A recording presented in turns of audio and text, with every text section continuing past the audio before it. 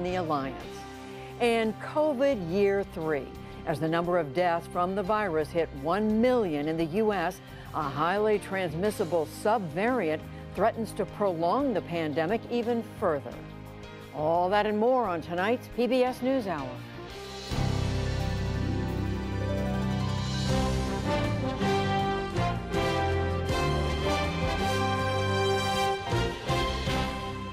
Major funding for the PBS NewsHour has been provided by It's the little things. The reminders of what's important. It's why Fidelity dedicated advisors are here to help you create a wealth plan. A plan with tax sensitive investing strategies. Planning focused on tomorrow while you focus on today. That's the planning effect from Fidelity.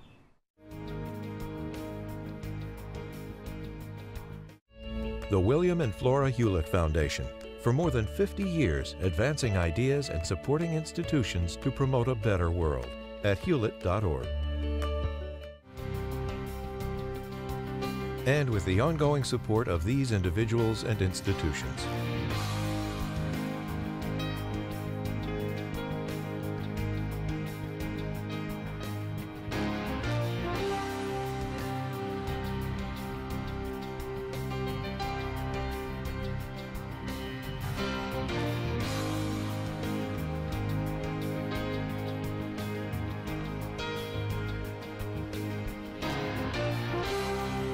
This program was made possible by the Corporation for Public Broadcasting and by contributions to your PBS station from viewers like you.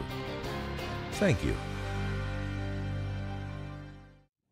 Federal authorities are investigating the weekend massacre in Buffalo as a potential hate crime.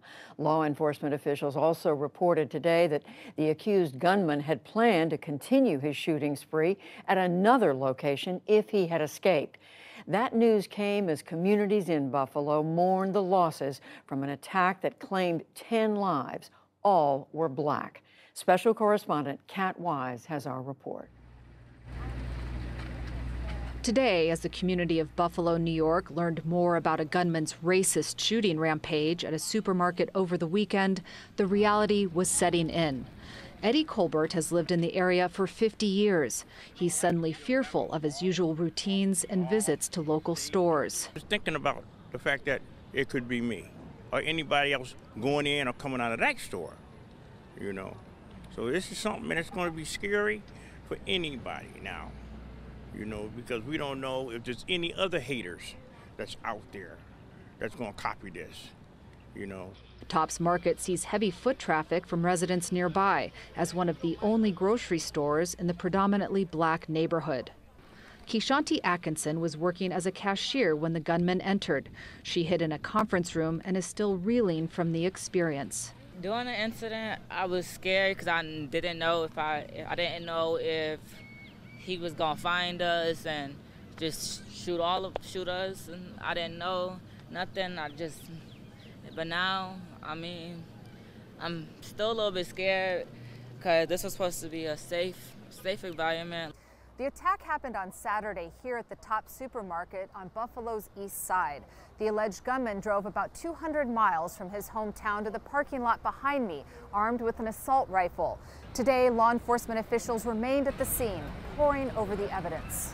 The 18 year old gunman live streamed the shooting from a helmet camera to a small audience on the platform Twitch. He shot 13 people, killing 10 of them. Of his victims, 11 were black. The Buffalo Police Commissioner made clear he was targeting them.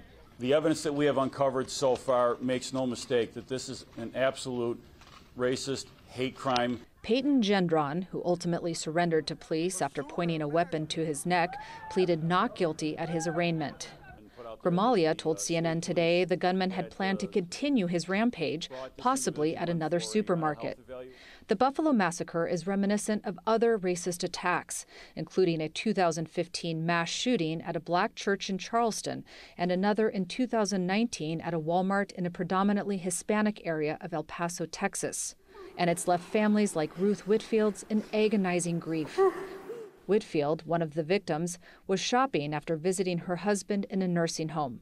Going to Tops was a daily ritual for her. She was 86 years old. We have no answers. What do we tell our father? We don't even know. He doesn't know. What do we tell him? How do we tell him the love of his life, his primary caretaker? Another victim, Kat Massey, was an advocate for civil rights and education. She wrote to local news outlets last year calling for federal regulation of firearms. She was 72 years old. Reverend Denise Walden Glenn has been providing comfort to her community. She works for Voices Buffalo, an interfaith racial justice and equity organization. Our community is hurting. Our community is devastated. Um, as much as we try not to struggle with the spirit of fear, people are scared. People are scared. People are scared to leave their homes.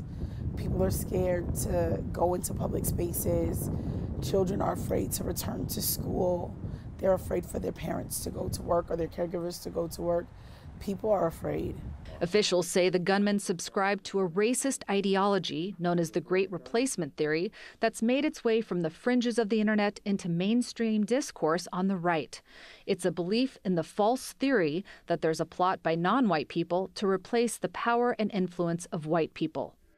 Civil rights attorney Ben Crump blames the gunman and those who influenced him to commit the act. All these people who are talking about this race replacement theory radicalizing these young, impressionable minds to go out and do irrational acts because they know they have an irrational audience. Police were called to his high school last June after he made threatening remarks. But after a brief mental health evaluation, he was free to go. The impacts of that release are now reverberating throughout the city and the country. This is our mother. This is our lives. We need help.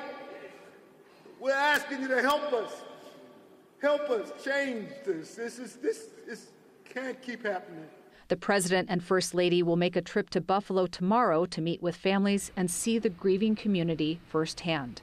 For the PBS NewsHour, I'm Cat Wise in Buffalo, New York. This attack, like too many before it, is leading to a renewed conversation and for some self examination for many on questions of race, white supremacy, and extremist ideology. We're going to focus on some of those questions ourselves with Eric Ward. He has long studied all of this and the proliferation of hate crimes. He's now at the Southern Poverty Law Center.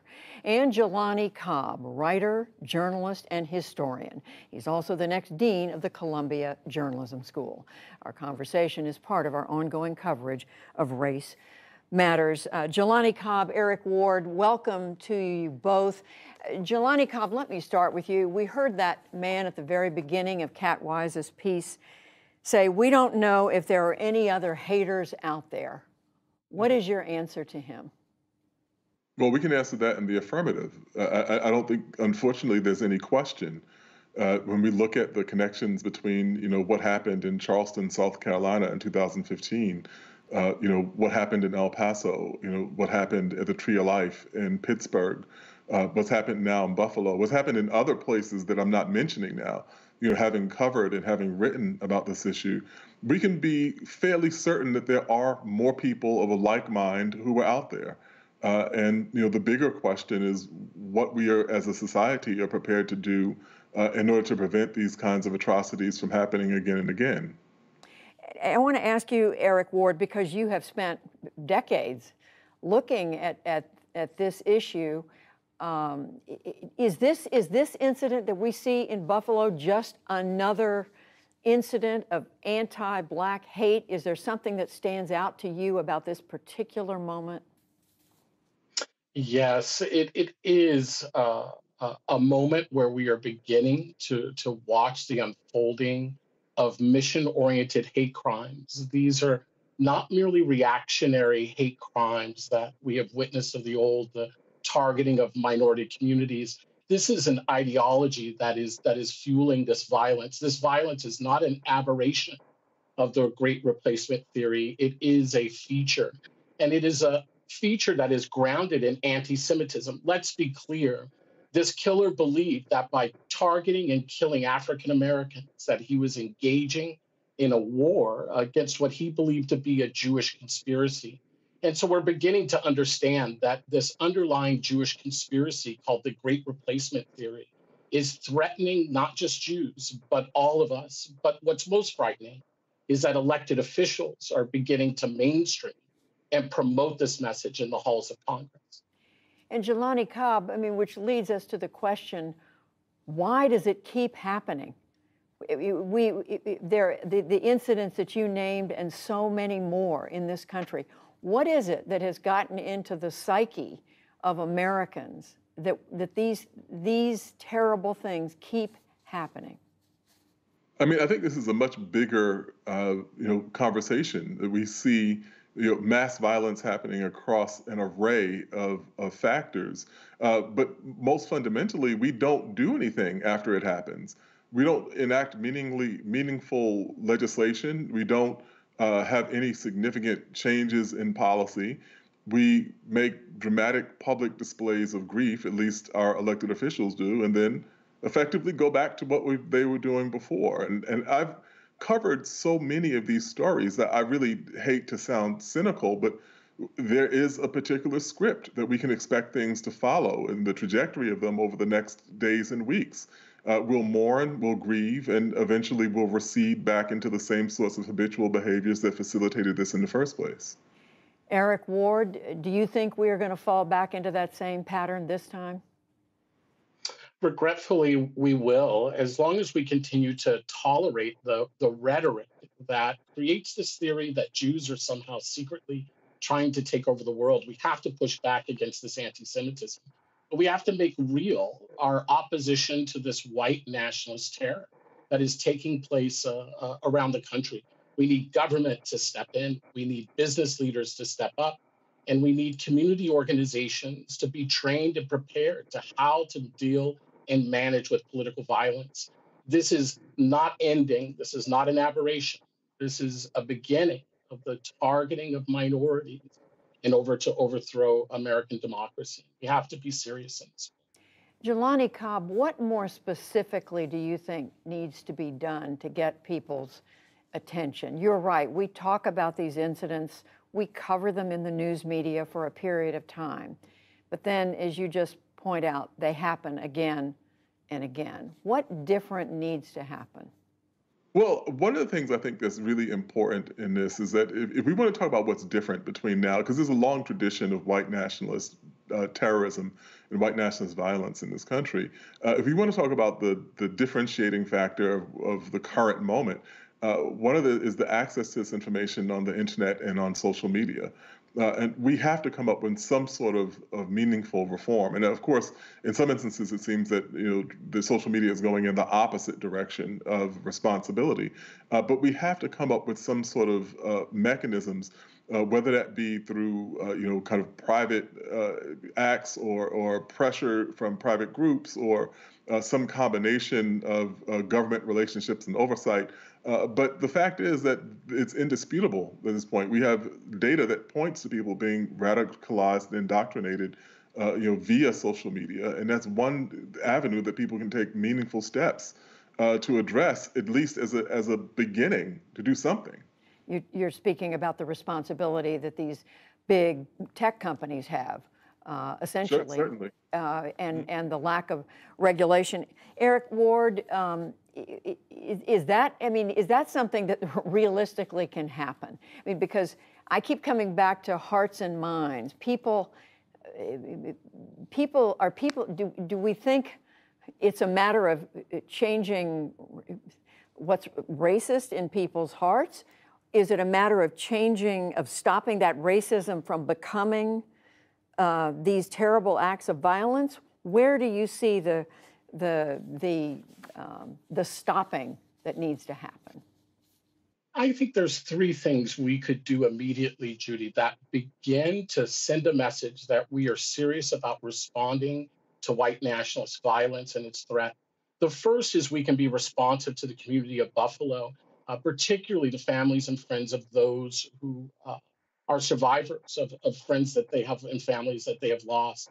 That is a community where we can make race equity real and a model for the nation and we should take on that challenge. The second, though, is that local communities need relief from federal government.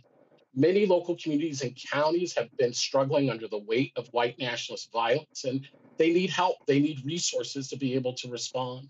The third is this we have to have the public will. And the truth is this if we were able to revamp the world economy in three weeks to come to the support of Ukraine by the invasion of Russia, we can build the political will here if we choose to be responsive to this white nationalist assault on America.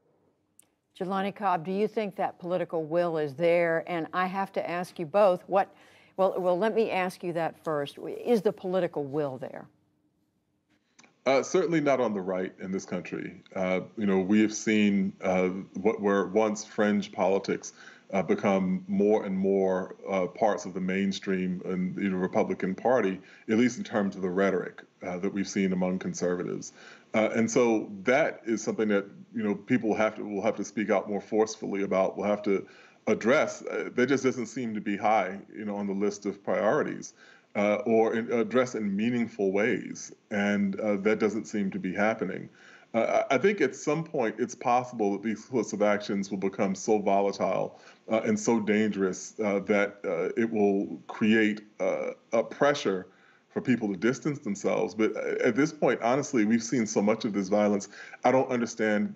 I don't can't predict the scale of the catastrophe that would be required to make people begin to think twice or, or, to think about this differently. A very quick final question to you both. We heard people in Buffalo expressing outright fear uh, after this. What, what would you say to them in, the, in this moment? Jelani Cobb.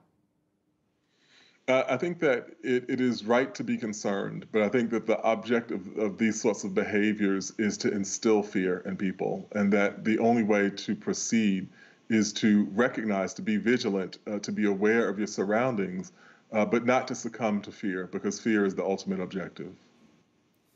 And Eric Ward. This, Judy, this is our opportunity to show the community of Buffalo that they are not alone, not today, not this week, or for the years to come. This is an opportunity to speak directly to the white nationalist movement by investing the best opportunities and energy, right, to ally ourselves with those who have faced horror in Buffalo, New York. Eric Ward, Jelani Cobb, we thank you. Thank you.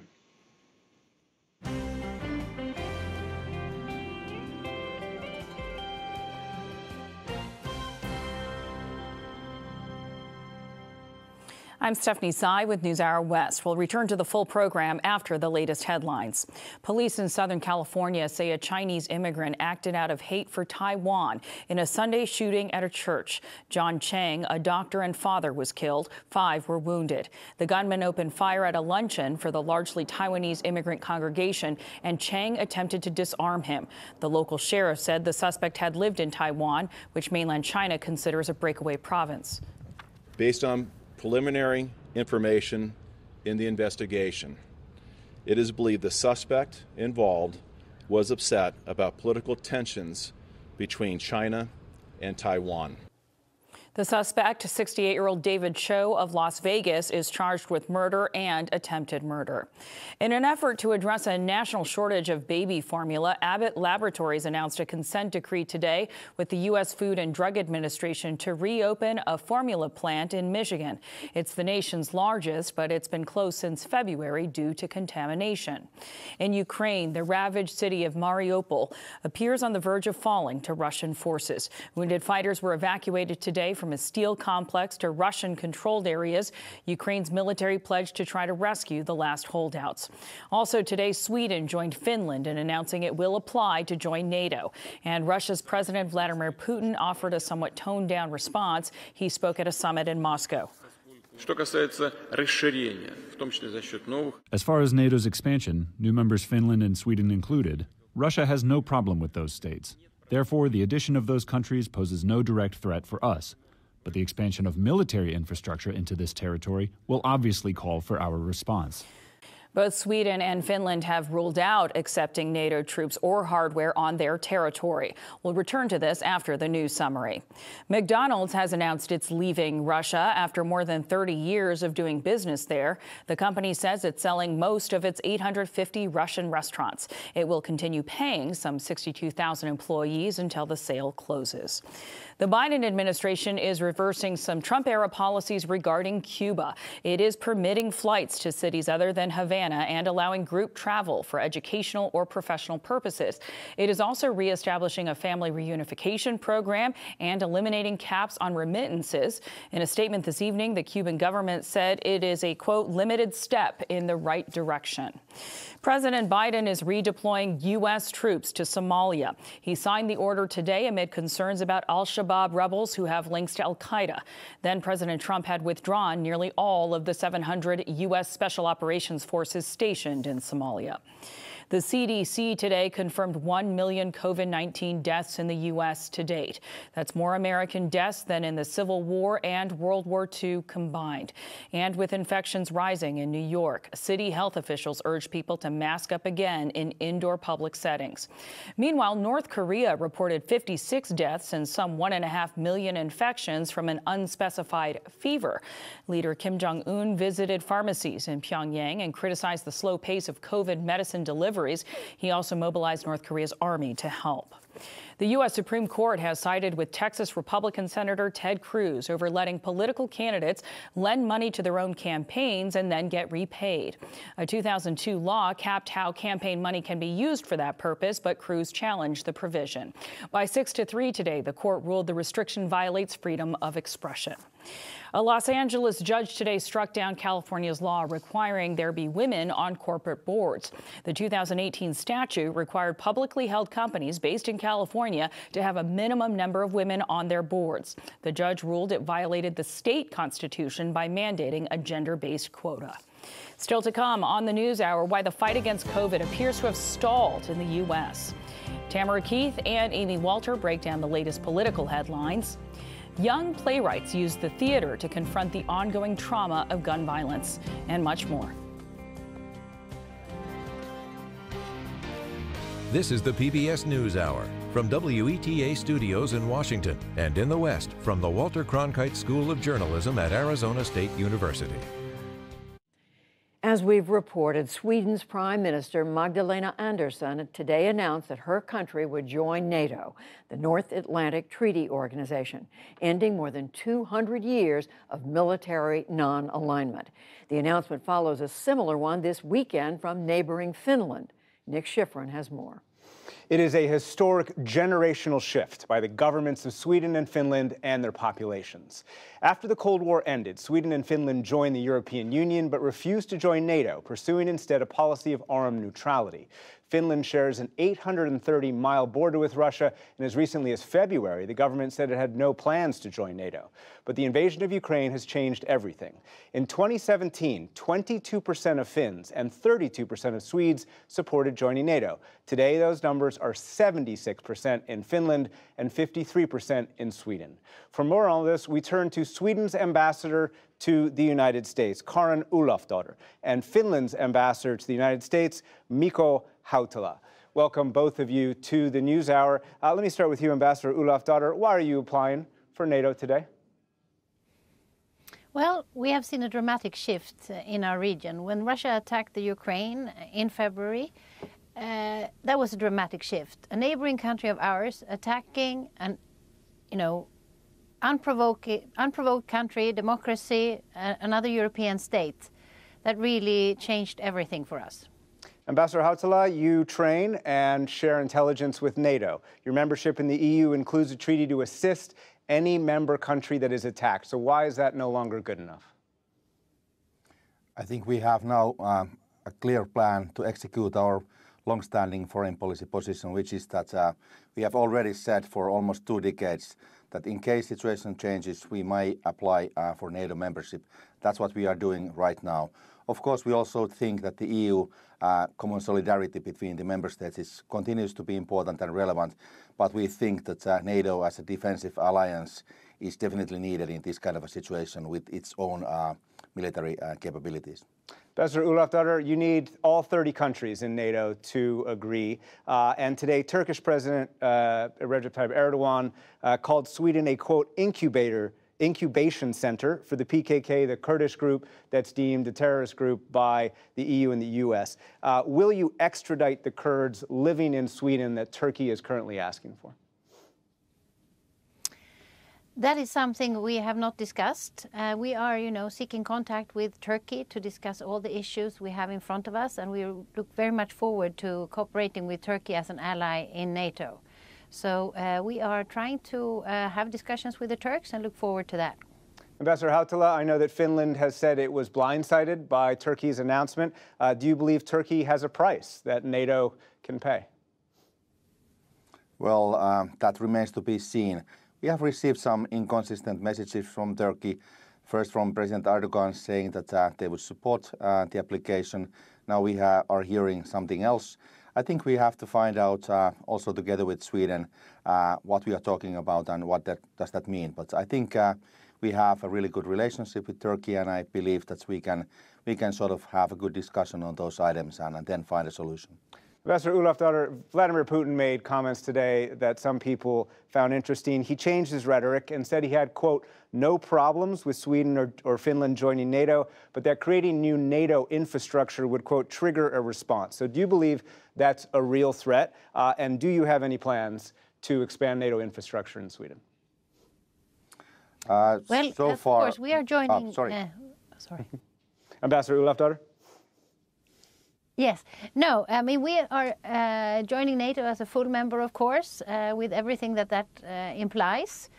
So that is discussions that we will have with NATO as we go forward in our accession process. Of course, we are happy that the Russians don't see it as a threat that we are joining NATO. Uh, we have heard differently before, and given uh, the unpredictability and what we have seen in the Ukraine, we of course have to take every precaution we can to strengthen our own security. So we have decided to, you know, go up to two percent of our uh, on our defense budget. We are ramping up our uh, missile defense, our uh, air force, our marine, um, navy, and building submarines, etc. So we are really taking our security very seriously. But of course, uh, that was a quite good message coming out of the Kremlin today. Ambassador Hautala, you're the former ambassador in Moscow. Were you surprised by Putin's language today? Not really. I think it's it's basically consistent of with what he has said before many years ago. Uh, but of course, given the uh, dramatic shift in, in, in February in Ukraine, I think we had to take seriously also all kinds of scenarios that might take place. And we continue certainly to do so. So we take all the precautions. But of course, this message is welcome. And I think that um, it's, uh, as I said, it's consistent with what they have said, said before. Ambassador Olofsdotter, there will be a time between Sweden's um, uh, requesting to join NATO and actually being inside of NATO. Uh, and today, the Prime Minister said that that would be a, quote, vulnerable position. Uh, the United Kingdom has publicly said uh, that it has a mutual security agreement during that time. But do you feel that you have enough security guarantees from the U.S. or other NATO countries during that gap? Of course, we are fully aware of we can't get full security guarantees until we are a full member of the alliance. But our friends, the Norwegians and the Danes and the Germans and the and the Brits and others have, you know, stated that they are willing to do whatever it takes to keep uh, help us keeping us safe in this period. We are of course taking our own security very seriously. So you know we have. Uh, ramped up the threshold uh, for for any aggression. So together with our friends and allies and partners, we think that we can, you know, make it tougher to to to threaten us in the meantime. So that's a discussion we are having now on the details of that in the period coming up. But we are very happy for the support we get from everyone in our vicinity on helping us during this time. Ambassador Hautala, I want to move the conversation over to Ukraine. You're the former ambassador to Moscow and to Kiev. Uh, Ukrainian officials uh, I spoke to just a couple days ago uh, when I was in Kiev used the word victory. Uh, do you fear, though, that Russia would escalate before it's seen to lose? I think certainly it's a possibility that we have to take uh, into account. I do believe that uh, we have a, a, long conflict in our hands, and I think the Russians are not yet certainly ready to give up on anything. And I think I think they have their old uh, war goals still in their minds. So I think it's I think it's very hard to predict what's going to happen next. But obviously, uh, there's not going to be a fast solution to this uh, war. Uh, Ambassador Olofsdotter, I noticed uh, on Friday that Ukraine's top aide, Andriy Yermak, uh, said that while he was happy for both Finland and Sweden to join NATO, it was, quote, uh, a double standard of NATO to fast track your admission. Why should Ukraine wait now for 14 years and not get into NATO when your countries are expected to join NATO within months? Well, that's of course the question our... for the alliance uh, to take. Ambassador Olofsdotter, sorry. I think it's the same. That it's um, the the alliance has set certain standards, and I think it's up to alliance to decide which countries meet those standards and, and how fast and, and, and to which which with which result they they should proceed. So uh, we are trying to do our best.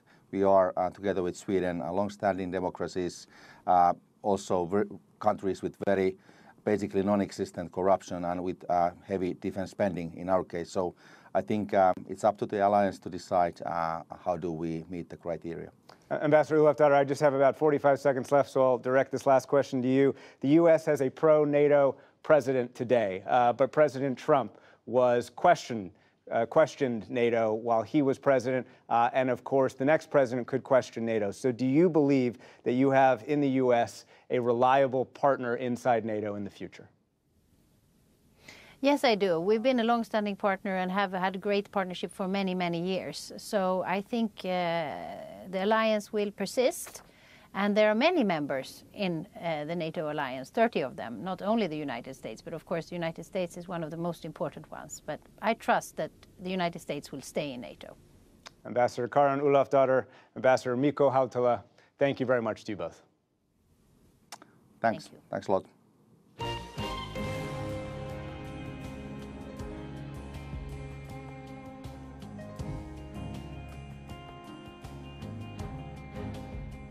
We knew the day was coming, and now it's arrived. The United States has now recorded more than 1 million COVID deaths.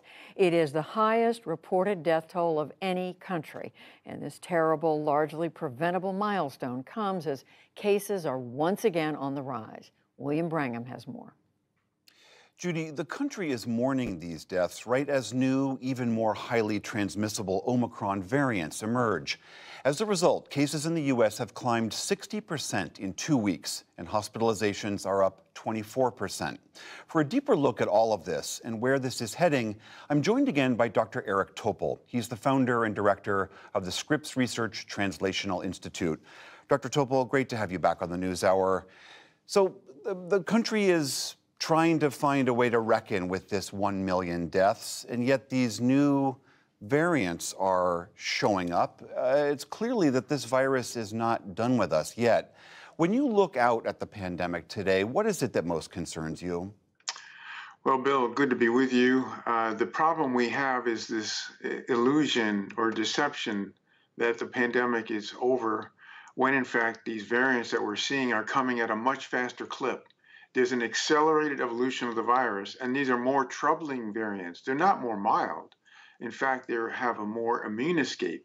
So they're transmitting at levels that is really inconceivable and starting to approach the level of measles, one of the most uh, spreadable uh, pathogens we've ever encountered. So we have trouble right now, as you mentioned. We are seeing at least six, seven hundred thousand real cases uh, a day uh, and uh, likely it's going to continue to increase in this country as we confront this so-called BA2121 variant, one of the several of the Omicron family. You mentioned immune escape, and for people who are not familiar with this, you're talking about the ability of these newly mutated, newly evolving strains to punch past our protections, to evade our vaccination. Is that right? Exactly. So, William, this is basically our immune system doesn't see them, doesn't see the virus as it saw previous versions of the virus because there's so much distance or the, the protein is basically looks different to our body. So it fakes us out. And that's why people who had Omicron, which is about 40 to 50% of Americans back in January and February, that BA1 variant the new one that's now rising to levels of dominance in this country already uh, in the New England region, but also, of course, will be throughout the country, we can have reinfections because they're so different. That is, we don't see those who've been infected with the BA1 don't see this new uh, problematic version of in the Omicron family. I mean, one of the things we've always been consoled with, which is if you've been vaccinated and boosted, and even if you got a BA1, an original Omicron infection, you were very protected. You might have a breakthrough infection, but you were not going to end up in the hospital, and you were certainly not going to end up dying. Do, do those new strains, these new strains, change that calculus? Yeah, so we've counted on our vaccines to give us this 90, 95% protection from severe disease, hospitalizations, and deaths but that's slipping now. And we're, we're in a denial state that it's now down to 85, 80%. That's actually a big drop because the, the gap is instead of 5%, we're talking about fourfold more people who might go on and get severe disease, even being vaccinated with one or two boosters. This is what uh, a real problem that we're not confronting right now. Help me understand something here because there seems to be a real disconnect. All of the things that you're reporting would be alarming to most people who have been paying attention to this epidemic. Now, but you look at the CDC's map, it shows the country where there's a few hot spots, the orange up in New York and some yellow up in Minnesota and Michigan, but the rest of the country looks green as if it there isn't a problem with this virus. What is the disconnect there? Well, I, have called it a capitulation. That is, uh, the CDC is, uh, um, fr- frankly, uh, it's a deception that the level uh, of the virus is low when the transmission is incredibly high. I mean, it's it's starting to approach that of what we saw with the Omicron wave, and it's continu- it's rising quickly.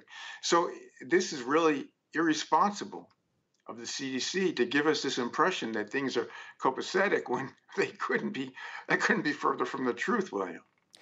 Let's just say that this continues to worsen and uh, public officials start to say we need to reintroduce precautions, as we saw in New York City today, recommending masks indoors again. Do you think, broadly speaking, that the country will listen? I mean, everywhere I travel in the country, it seems like people are they are done with this. They don't want to think about it anymore. Eh, they are ready for this to be in the rearview mirror. If public health officials say it's time to tighten down precautions again, will people listen? Well, that's a problem. I think it's very hard to go backwards. I mean, our thinking is going backwards, but our actions, uh, we're not doing the things that we could do.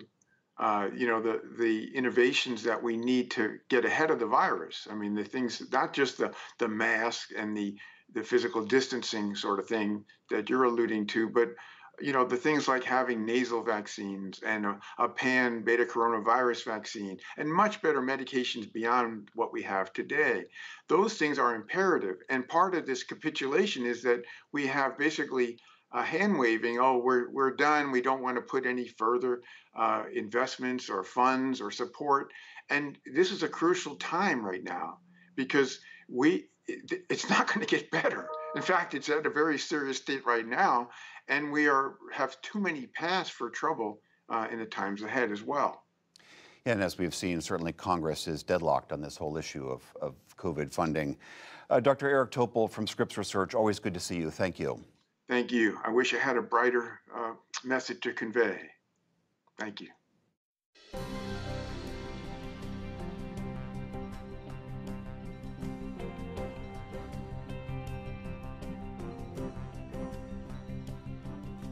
Days after the massacre in Buffalo, the response from political leaders has turned not to the usual conversation on guns, but to the power of the racist ideology that fuels attacks like this one.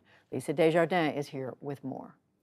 Judy, for the political response to this tragedy, as well as a look ahead to some critical primary races tomorrow, I'm joined by our always thoughtful Political Monday team.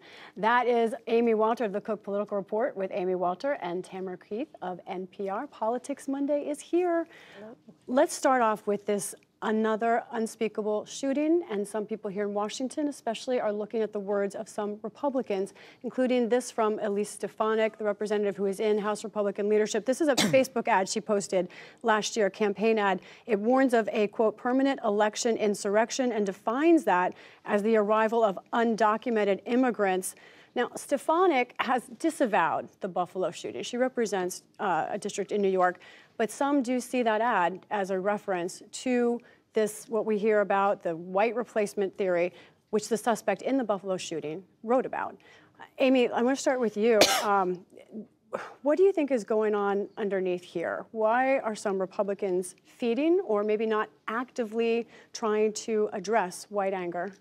Um, I think as this piece, um, as the lead-in alluded to, you know, lots of times when these things happen, these horrible tragedies involving guns, we talk about the Second Amendment.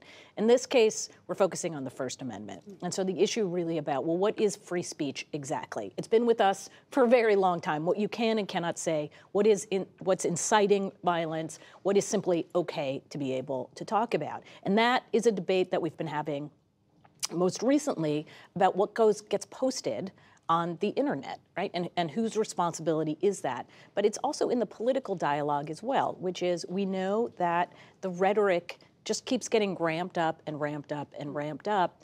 And this idea that there are, you know, this is just a political, that it, that it won't seep into the broader uh, uh, so society is is not true, right? The more that leaders, people who are in leadership positions, are willing to either excuse it or find ex- or, or, find ways to sort of switch the topic, um, the harder it becomes for leaders to stand up and say, actually, we can draw a line. There is a First Amendment, but this just not acceptable, and um, we need to hold ourselves, even if internet companies or the, the, the, broader world won't hold us to those standards, we need to do it. And speaking of leaders, there was a tweet from another Republican, former member of leadership, uh, Liz Cheney, who tweeted, the GOP leadership has enabled white nationalism, white supremacy, and anti Semitism. Tam, these are kinds of ideas, white replacement theory, that used to be way on the fringe. How are they now in the political mainstream yes. for some people. So, white replacement theory was KKK neo Nazi stuff. And then it started seeping in in a in theory more palatable form right instead of white replacement theory it's political replacement theory that that ad from elise stefanik was the idea that that Democrats or somebody wants to bring in lots of illegal immigrants who could then become legal and become American citizens and vote and replace Native American or you know native-born American voters. That's the theory you, behind this. You, you, conservative voter, conservative you. voters. That yeah. there would be a liberal majority. Um, that is how it went from the fringes to the main, sort of the Republican mainstream. Hmm. Um, and you had in Charlottesville those people marching, chanting with tiki torches saying, Jews will not replace us, you will not replace us.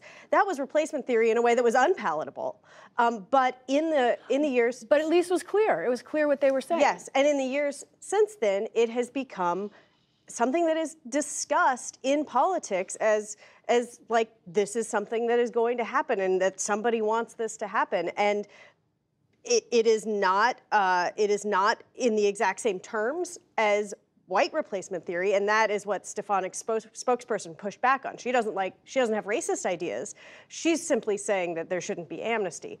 It all mixes and melds together. Right, and that's the whole thing about what is free speech and what is hateful rhetoric that incites people to do terrible things. And then what is there to do? New White House press secretary in her first day on the job, Karine Jean-Pierre, was asked today if the White House should push back more, call out people by name like Tucker Carlson. We talked about him on this show last night.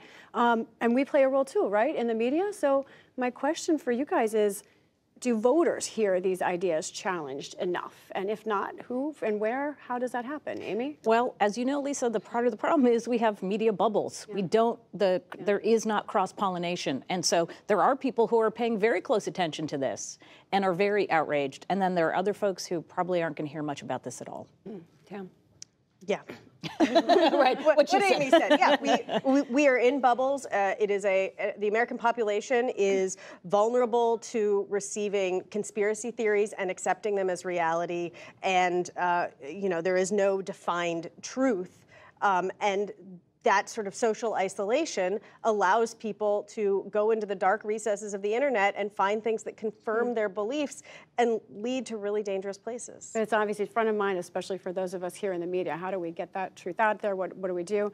But another topic that does overlap with these sharp divides primaries. We have some tomorrow, some good ones. North Carolina, Pennsylvania, and others. I just got back from the Keystone State. Fantastic few days there. Um, Republicans in the Senate race have three very conservative candidates, including this sort of new surging Kathy Barnette. Democrats have an unconventional Senate candidate as well, John Fetterman, the lieutenant governor. I want to ask you, Tam, is the idea of who can win changing? There used to be a formula. These aren't formulaic candidates. Right. It's someone like a Dave McCormick, who's one of the Republican candidates. He's a veteran. He had success in business. If you went back 10 years to Republican candidate central casting, you would find him. But then Trump got elected, and the idea of what is electable, I think, has changed somewhat. Someone like uh, John Fetterman is not traditionally considered even remotely electable. He doesn't care. He shows up in, there you go, in a hoodie and gym shorts for a meeting with the President of the United States. Um, and yet he is, uh, you know, appealing to rural voters. He's appealing to working class voters that Democrats have been struggling with. And so, I, and and someone like Barnette grabs attention, makes people have passion. Um, and I don't know if they're going to win their primaries. I'm not here to make predictions, but. Um, I think that they are a- an example of candidates who are potentially redefining what it means. Except we kind of flipped the script, Lisa. In 2018 and 2020, the one thing that unified Democrats was getting rid of Donald Trump. And that meant ha- electing in primaries the most electable candidate, which usually meant the most moderate to centrist. Center, right. Yeah. On the Democratic side here, you have John Fetterman, who not only doesn't look the part with the sweatshirt and the shorts, but he comes from the Bernie Sanders wing of the party, which again, in the 2018 2020 version of Democrats, they would say, whoa, maybe that's a little too dangerous in a state as conservative as, um, as Pennsylvania, and we should elect the more moderate. In this case, though, what Democrats are looking for is somebody who's going to be a fighter because they're frustrated that they're not seeing that from the party right now, and Fetterman's giving that. All right, Amy Walter, Tamara Keith, great discussion. Thank you both. You're Welcome.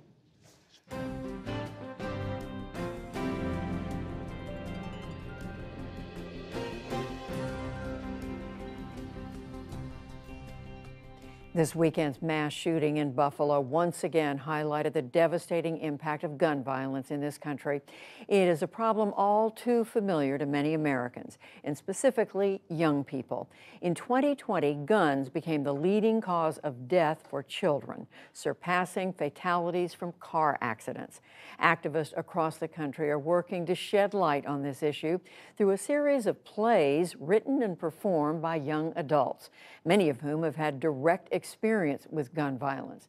Jeffrey Brown has the story for our Arts and Culture series, Canvas. You know, I usually would let you go, but it was a shooting down there. Well, I know y'all be hanging, and I just don't want nothing to happen to you, JJ. At New York City's Lincoln Center, the reading of a play about a woman who lost her husband to gun violence and now fears the worst for her son. It was written by 18 year old Taylor Lafayette. I really hope that my play, amongst others that were written, bring that change forth that this cannot keep happening. You got three seconds, then I'm taking it out your pockets. I ain't got enough. Three. All right, chill. Look, the money ain't with Two. In Tempe, Arizona, a performance about a boy who witnesses his older brother's murder and weighs whether to take revenge. One of the student actors, Byron Roberson Jr. It's a part of life that you never want to face, but it's also one that you can't act as if it's not there. Ignorance isn't bliss when you're talking about this subject. Information, knowledge, that's the power. The performances were part of Hashtag Enough Plays to End Gun Violence, a project written and acted by young people expressing their anger, frustration, and fear. Earlier this spring, on April 20th, the anniversary of the 1999 Columbine, Colorado school shooting, eight plays were performed in 29 states across the country, including Pittsburgh Please walk by faith, please. and Suitland, Maryland. God, please don't kill us. It's not me. I don't have a choice. Scenes evoked the aftermath of a mass shooting, Another gun, another shooting. It shouldn't have happened. The trauma that endures when a loved one is lost. Mom cries every day now, staring at the spot in the street where her baby boy's body lay. When I started this project, I told Hashtag Enough is the brainchild of Michael Cotey, a director and producer based in Chicago. In 2018, he was in a professional theater rehearsal when the Parkland, Florida shooting left 17 dead. it just took over the entire vibe of the rehearsal. And then my memory of it is that 10 minutes later, we got back to work working on plays. And I that really left an unsettling feeling for me. What was the feeling? Frustrated that these things kept happening or feel like they keep happening and like what am I doing in the theater or like more specifically like what could we be doing with the theater to address this directly?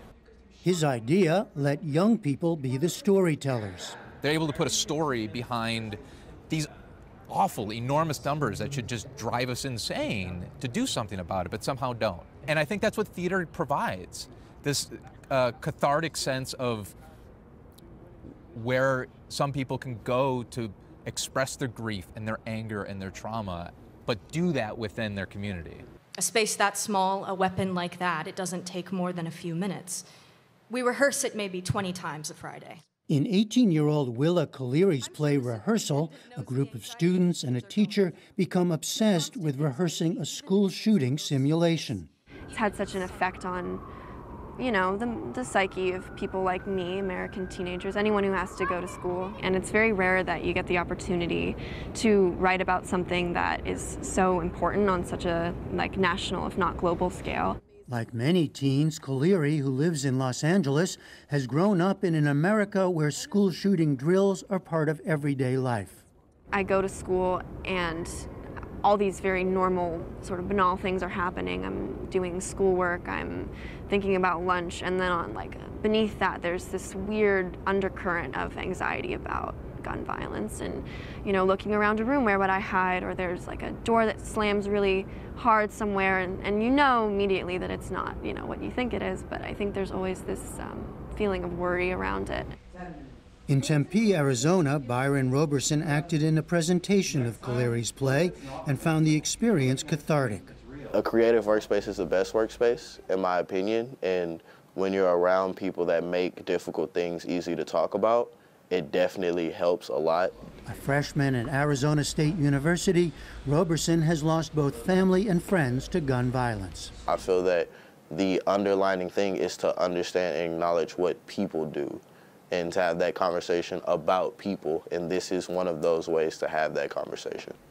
It's a conversation all too familiar for Arizona State Representative Jennifer Longdon, who was shot and paralyzed 18 years ago. She was in the audience in Arizona and joined a post performance discussion. I found it really very intense, um, very true to life. Um, I found myself holding my breath several points along the way. I think that it provides an outlet for uh, the creators and the, the performers, and I think it's educational to the audience. For her part, Taylor Lafayette traveled to New York from her home in Benoit, Mississippi. She's been writing since childhood, she told us, but this play was her most personal, a way to cope after losing her younger brother to gun violence. He was 16, so very young, not even getting a chance to graduate high school, see senior year. And the fact that I do, I just, I like to use that as motivation to keep going, actually. Why, why does art become the way to help you do that?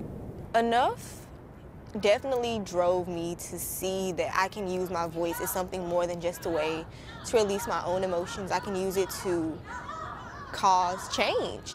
I don't want to keep my writing to myself. I want it to be in the world because I feel that's where it needs to be. For the PBS NewsHour, I'm Jeffrey Brown. And that's the news hour for tonight. I'm Judy Woodruff. Join us online and again here tomorrow evening for all of us Thank you. Please stay safe, and we'll see you soon.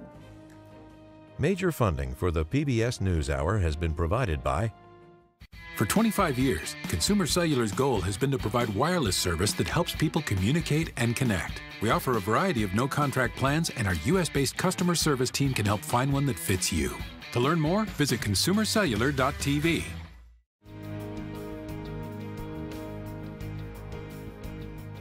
The Kendeda Fund, committed to advancing restorative justice and meaningful work through investments in transformative leaders and ideas. More at kendedafund.org. Supported by the John D. and Catherine T. MacArthur Foundation, committed to building a more just, verdant, and peaceful world. More information at macfound.org. And with the ongoing support of these institutions.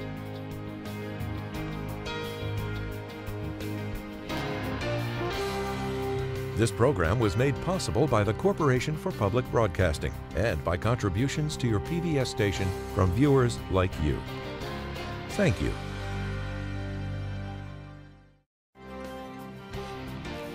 This is the PBS NewsHour from WETA Studios in Washington and in the West from the Walter Cronkite School of Journalism at Arizona State University.